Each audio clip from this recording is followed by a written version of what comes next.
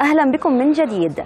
أجواء ممطرة شهدتها مكة المكرمة يوم أمس الأربعاء حيث هطلت أمطارا خفيفة ومتفرقة نرصدها لكم من خلال هذا الفيديو الذي نشر على موقع اليوتيوب.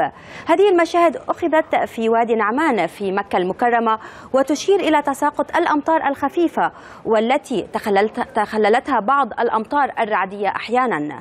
هذا ومن المتوقع استمرار فرص هطول الأمطار على المرتفعات الجنوبية الغربية والغربية من السعودية تشمل جازان عسير الباحة والطائف وتمتد حتى مرتفعات منطقة المدينة المنورة طبعا خلال ال 24 ساعة القادمة. في اليمن أيضا لدينا أمطار محتملة وعواصف رعدية أحيانا على المرتفعات الجبلية والمناطق الصحراوية لتستمر الأجواء الغائمة على السواحل العمانية وتحديدا على جبال الحجر والمناطق المجاورة لها في فترة المساء.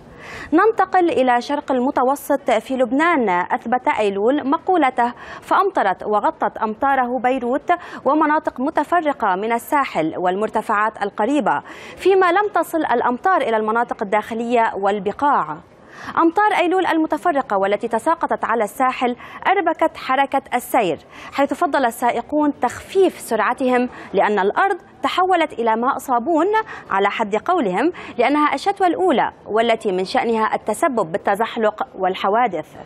وذكرت أمطار أيلول ذكرتنا بالمشهد الشتوي فظهرت المظلات مجددا وشهدت الشوارع الرئيسية زحمة سير خصوصا على أوتوستراد أنطليس وجلديب هذه الأمطار من المتوقع أن تستمر لغاية صباح يوم الخميس مع انخفاض بسيط في درجات الحرارة لتعود إلى الارتفاع مجددا يوم الجمعة وتعود الأجواء صحوة من جديد.